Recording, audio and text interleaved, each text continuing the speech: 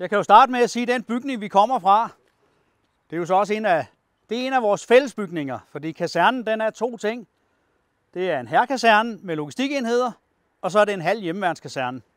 Vordingborg, det er jo en, øh, som I jo se, det er jo en relativt øh, stor øh, kaserne, og som I jo også har kunne se, også de steder, vi har været inde, så er det en, øh, faktisk en rigtig velholdt, og også fremtidssikker og moderniseret øh, kaserne. Vi er faktisk ret populære. Og især når man har lukket kaserner andre steder, så uh, Vordingborg kaserne, der virker det. Så der kommer mange ned og besøger os. Det var lige lidt omkring den her, så går vi lige ned i den næste gård dernede. 52 rekrutter fra Vordingborg Erhvervsforening gør klar til rundvisning på Vordingborg Kaserne.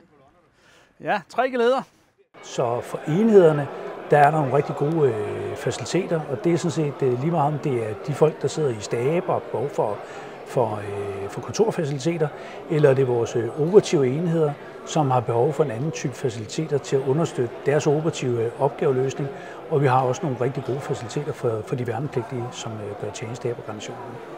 Alle navnene her på kasernen, de er døbt efter episoder og slag fra de sønderjyske krige. Vi bor også på Sankelmarksvej. Jeg ved ikke, om der er, I så den film, der hedder 1864.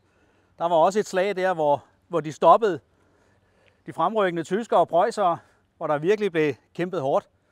Det er det vejen er opkaldt efter, og det bibeholder vi i hele vores historik. Og mit indtryk er, at her er der en virkelig veldrevet kaserne. Det er godt tip-top i standsat øh, de fleste bygninger, både indvendige og udvendige, og det synes jeg simpelthen, at man skal benytte sig af muligheden for at udnytte helt optimalt. At der så også er plads til udvidelser, det gør det jo kun endnu bedre.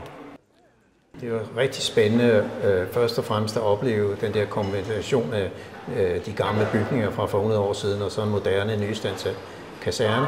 Og så øh, høre Obersten fortælle om, øh, om alle de funktioner, der er herude til støtte for alt muligt andet i dansk forsvar. Det var vildt spændende, rigtig spændende. En af grundene til, at folk godt kan lide at komme ned hos os, og der er rart at være, går vi ikke op og ser dem alle sammen, men deroppe har vi fire hotelbygninger med 80 enkelt- eller dobbeltværelser, så der er mulighed for, når man er nede på kursus, jamen, så kan man få et ordentligt værelse. Der er ikke ret mange lastbiler lige nu, det er der en grund til. De befinder sig stort set i Estland og Letland lige i øjeblikket, for der har vi altså en masse soldater, og de skal have materiel og køretøjer med. Så når kasernen er tom, så er det faktisk, fordi vi er drønende travlt herude. Da vi nedlagde Danilok, der var også nogen, der syntes, at det her, det skulle vi bare sælge fra og aflevere. Det er vi rigtig glade for, at vi fik lov at beholde. For der var sikkert nogle civile firmaer, der gerne ville have lejet sådan nogle store bygninger og en kæmpe depotbygning. Men det er virkelig nogle, nogle store aktiver for kasernen i den, den, den dag i dag. Så er vi kommet op i den del af kasernen, hvor hjemmeværende primært huserer. Lige de to bygninger, som er meget tæt på os her, der bor hjemmeværnskommandoen, og så har vi ledelsen af flyverhjemmeværnet.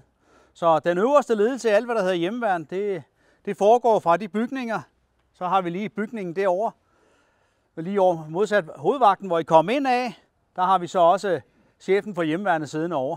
Jeg vil da også nævne, at vi har haft kronprinsessen igennem. Da hun blev kaptajn, der var hun faktisk også på kursus i hjemmeværnsskolen, og lige pludselig var ganske almindelig kursist her på kasernen.